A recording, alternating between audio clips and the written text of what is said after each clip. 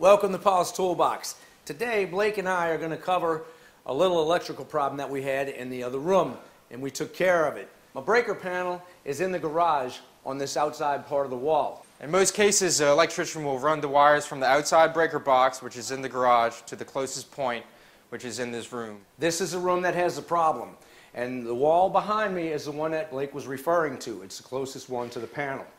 Now, if they drop these wires for the feed down this wall, there's a doorway on this side. So this is going to be my closest outlet. That one's probably going to be my first outlet that feeds the room. So if I check this outlet, it should have four wires in it, meaning two of them come in to feed it, and then two will go out. Now every once in a while they'll drop it into another room and, and through there. So if this is not the first outlet, the one on the other side of that wall will be. After that, it goes from this to the next outlet, which you'll have four wires on that one too. Then you'll have four wires on just about every outlet in there. The last outlet should have two wires.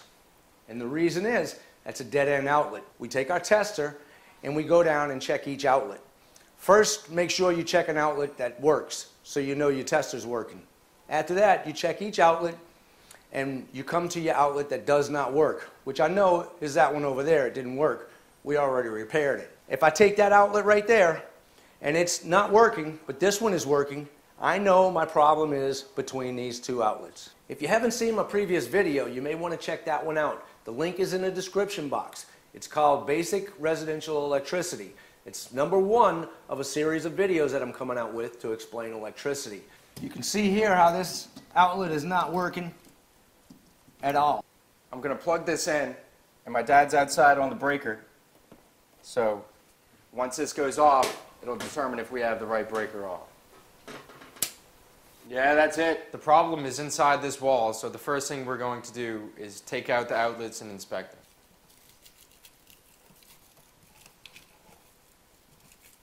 This is the second outlet and it wasn't working.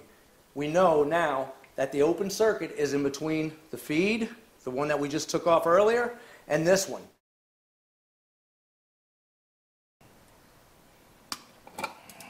There you go. You see how it's burned right there? Pull this out. While we're at it, Blake's going to be changing out the other outlets because I want to um, go with the white ones go back with the white ones on here to match my wall. My other outlets were bone, so Blake's going to be swapping them out while I fix this, and then I'll help him finish up swapping them out in this room. We're going to go ahead with this type where I can put my wire right in that clip and tighten it up. These two wires go together. That came from my other outlet. These two wires are on this side of the box. They have a hole and it goes this way. So these come in this way and these two go out this way. There's a pigtail on there where my grounds are put together but only one wire comes out. You twist them together and you only have one so you don't have a giant knot right here where you're trying to put the screw in. Okay, the other thing is keep them in order. These two come in and these two go out. You see these two? You want them in line and these two. You don't want to crisscross them. It'll still work, but it's not the proper way, and you really want to keep this in order. I get it all the way in there. Let me loosen this up a little more. There you go. I don't want to have an exposed wire way out here where it can touch something else. I want to keep it to where the insulation is on the outside, but the copper is underneath the screw. That way you can tighten it real well, but you also don't have to worry about it catching other things. So we'll get this tight. Now this one is going to go on this side. Same way. You just slip it behind that clip, and that clip's going to hold it tight once you lock it in.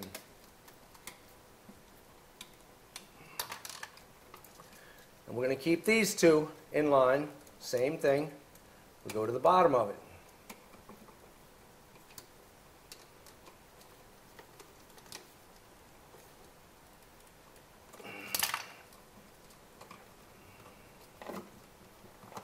You want it all to stay neat. Make sure you don't have the insulation underneath that screw because then you might think you have it tight and it's not. Now all I have to do is hook my ground wire up. So I'm going to straighten it out a little bit. And then we'll make our little bend. You always want to make sure when you wrap around a screw that you wrap around it clockwise. So when I tighten this, it's not going to pull it off. It's going to actually help it snug. Snug it up better. So we'll take this and clamp it in there good. Wrap it around that screw. That's what these are great for, because you can get in little tight spots.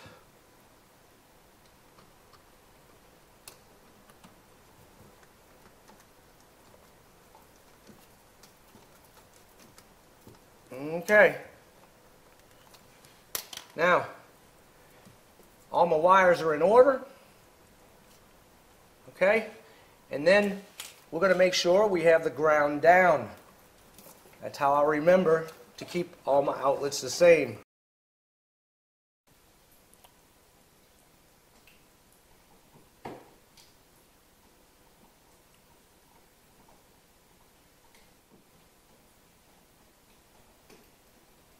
We're ready to go ahead and check it. The power's turned on. There's my first outlet. Now we're going to check the second outlet.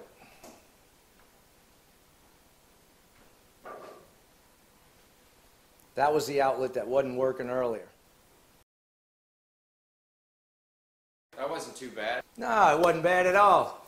Don't forget to subscribe. Check out paulstoolbox.com for all my archive videos, and I will see you on the next project. Check out the all new Swanson ProScribe tape measure, the best contracted tape you'll ever see. And let's not forget its brother, the Grip Line. That tape grips on everything. Swanson Savage proscribing Grip Line tape measures.